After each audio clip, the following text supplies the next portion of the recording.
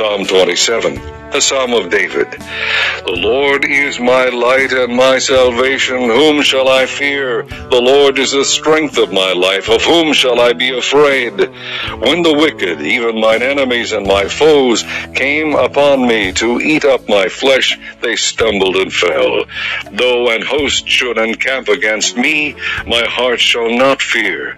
Though war should rise against me, in this will I be confident. One thing have I desired of the Lord, that will I seek after, that I may dwell in the house of the Lord all the days of my life, to behold the beauty of the Lord, and to inquire in his temple. For in the time of trouble he shall hide me in his pavilion. In the secret of his tabernacle shall he hide me.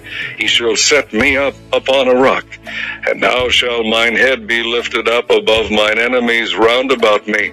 Therefore will I offer in tabernacle sacrifices of joy. I will sing, yea, I will sing praises unto the Lord. Hear, O Lord, when I cry with my voice. Have mercy also upon me, and answer me.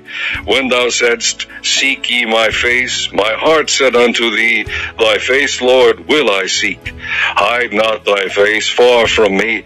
Put not thy servant away in anger. Thou hast been my help, leave me not, neither forsake me, O God of my salvation. When my father and my mother forsake me, then the Lord will take me up. Teach me thy way, O Lord, and lead me in a plain path because of mine enemies. Deliver me not over unto the will of mine enemies, for false witnesses are risen up against me, and such as breathe out cruelty. I had fainted unless I had believed to see the goodness of the Lord in the land of the living. Wait on the Lord, be of good courage, and he shall strengthen thine heart. Wait, I say, on the Lord.